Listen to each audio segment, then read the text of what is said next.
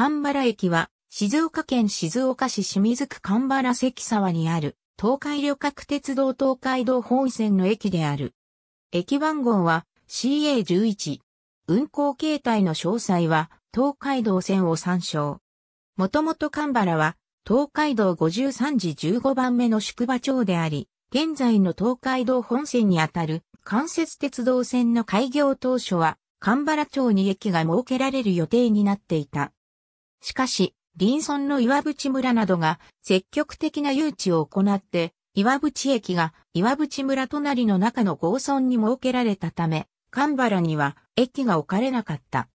神原町ではこれではならじと、神津静岡間の開業後にも誘致合戦を行い、同線の開業から1年3ヶ月経ってようやく、神原駅が設けられることになったのである。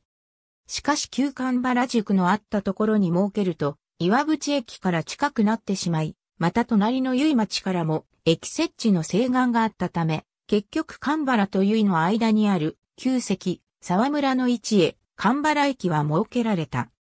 それから、あと、1916年4月15日に、由町で、由駅が設けられると、神原町でも、旧宿場の位置へ、神原駅を移転させようという計画が立てられた。しかしこれは、当時の町長が、町内の融和を乱すことになると言って反対したために、実現しなかった。しかし結局は、神原塾のあった場所近くへ1968年10月1日に新神原駅が設けられた。もともと人口の多いのは神原塾の存在したところであったため、新神原駅は開業後すぐに神原駅の乗降客数を上回ることになった。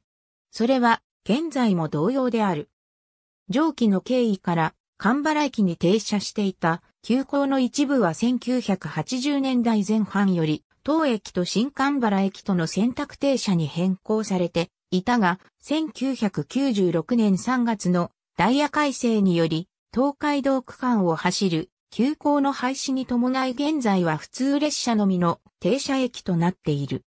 ホーム単式ホーム1面1線と島式ホーム1面2線、合計2面3線のホームを有する地上駅。1.3番線が本線、2番線が副本線となっており、3番線の外側にもホームの内副本線が1線ある。なお、2014年3月改正ダイヤの時点で2番線に発着する定期旅客列車はなく、主に貨物列車や回送列車が対比のために使用するのみとなっている。二つのホームは古線橋で連絡している。東海交通事業の職員が業務を担当する業務委託駅で藤川駅が当駅を管理している。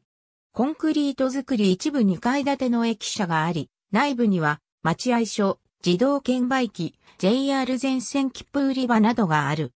早朝、夜間は無人となる。静岡県統計年間によると、2019年度の1日平均乗車人員は692人である。これは静岡県内の東海道本線の駅で最も乗車人員が少ない。近年の推移は以下の通りである。西側から望む駅周辺駅の南約100メートルには海岸線が、そのすぐ北側には国道1号が東西に走っている。寺尾橋、由比駅場から当駅、神原病院を経て、富士駅方面へ運行していた富士急静岡バスの廃止に伴い、2019年10月1日より神原病院への自主運行バスを運行開始。注釈出店。ありがとうございます。